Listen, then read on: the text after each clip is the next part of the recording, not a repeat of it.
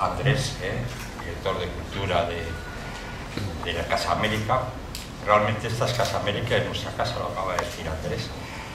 Las relaciones de la Fundación Cultural y de la Embajada de Brasil con Casa América son eh, interesantísimas.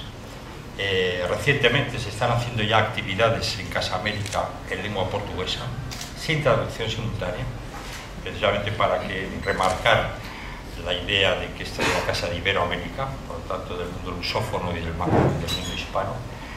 Y, agradecemos también que nos haya ofrecido Casa América para la rueda de prensa de presentación del nuevo cine, que como también ha dicho Andrés es la sexta edición que se hace, es el, proyecto de la Fundación Cultural y de la Embajada de Brasil. Me ha citado primero como director y luego como presidente. Soy director, el presidente es el embajador el embajador de Brasil, que no puede estar aquí ni va a poder estar hoy en la inauguración de Nuevo Cine porque está en Cádiz, porque hoy se inaugura la, la 22 cumbre, me parece, de, jefes de Estado y de Gobierno en Cádiz, pero que realmente aquí nos encontramos muy cómodos. Eh, como luego, en fin, la, la a mí me gusta, aunque yo no hablo portugués, pero me gusta más hablar de la curadora de la muestra que no de la comisaria de la muestra. La verdad, yo creo que podríamos adaptar a la lengua española la palabra curadora en vez de comisaria, que es absolutamente horrorosa, ¿no?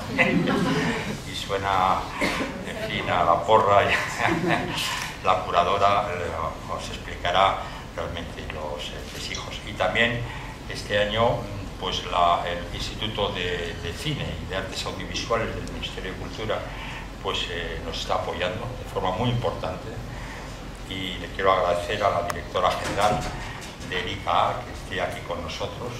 Acabamos de estar también en el Ministerio de Cultura eh, pues, eh, con ellos y también nos va a acompañar esta noche en Nuevo Cine.